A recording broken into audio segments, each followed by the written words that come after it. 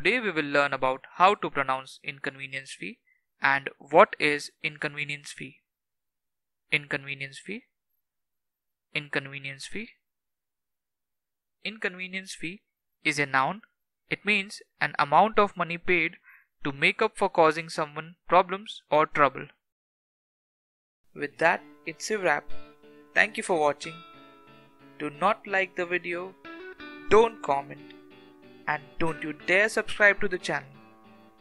Don't be crazy, that was just a joke. Like, comment, share, and subscribe right now. Happy learning and be a vocabulary pro.